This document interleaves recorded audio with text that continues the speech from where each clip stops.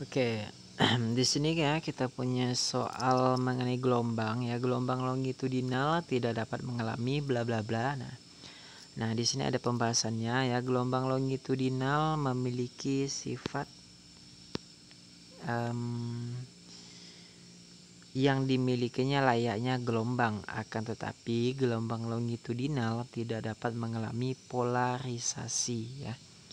Polarisasi itu maksudnya hanya dialami gelombang transversal ya. Gelombang transversal. Jadi polarisasi ya jawabannya. Tidak dapat mengalami polarisasi ya. Oke sampai sini paham ya gengs? Nah oke sampai jumpa di video selanjutnya. Bye